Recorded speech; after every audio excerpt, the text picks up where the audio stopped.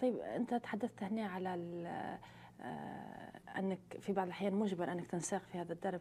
أعطيك مثال أغنية أنا راجع أشوفك. ظلت فترة طويلة لم تنزل السوق وهي جاهزة. ظلت في الأدراج. تخوف ربما منك أن الجمهور ما يقبلها.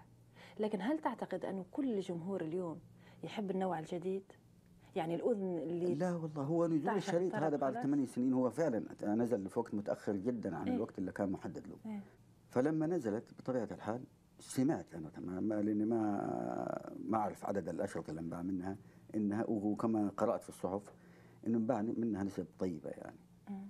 مما يدل على إنه لسه يعني في من الجمهور من هو ميال ومحب للأسلوب التطريب القديم الكلاسيكي أيه. يعني.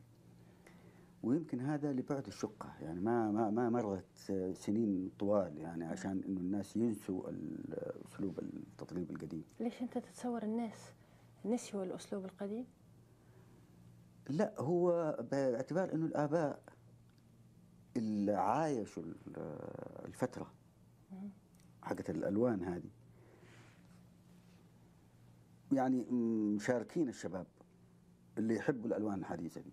لكن في من الشباب اللي يذوقوا الطرب الأصيل. نعم. في من الشباب الذين يتذوقون الطرب الأصيل. يعني نحن لا نتحدث فقط عن المملكه من, بي من بيئة يعني من أبوه لما يكون أبوه يجي يقول له حط الشريط الفلاني. هذا طبعا أسلوب قديم. يقوم يضطر أول في الأول غصب عنه كده إنه يسمع مجاملة لأبوه. بعدين يتعود عليه. بعدين يتعود عليه. إيه.